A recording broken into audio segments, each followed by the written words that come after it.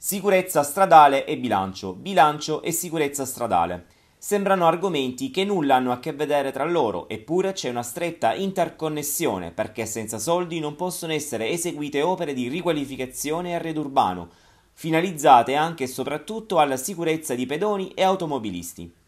È quanto avviene a Brindisi, o meglio nelle zone più periferiche, poco attenzionate dagli amministratori locali. Precisamente sono ancora Viale Caduti di Via Fani e Via Palmiro Togliatti, ingresso della città, le strade poco sicure, insistenti nel rione Sant'Elia. L'illuminazione derivante dai pali della luce pare essere davvero scarsa, sia per la poca intensità e sia perché alcune lampadine sono coperte dagli alti alberi che si ergono lungo le due strade. È una condizione che costituisce pericolo sia per gli automobilisti, ma anche per i pedoni che possono inciampare nella disastrosa pavimentazione, oltre al fatto che un'adeguata illuminazione pubblica garantirebbe maggiore sicurezza anche in caso di malintenzionati.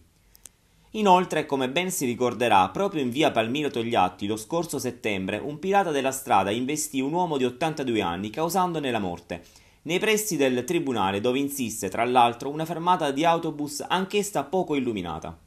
Forse se ci fosse stata un'adeguata illuminazione pubblica e soprattutto dossi artificiali per evitare lo sfrecciare delle auto, probabilmente ciò si sarebbe potuto evitare.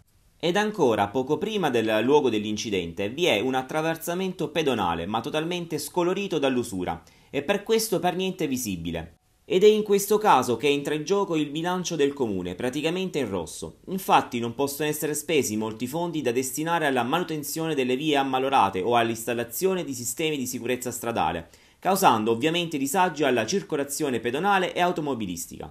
Ma quando in ballo c'è la sicurezza dei cittadini bisogna assolutamente individuare soluzioni alternative come ad esempio le somme derivanti dalle contravvenzioni per violazione del codice della strada.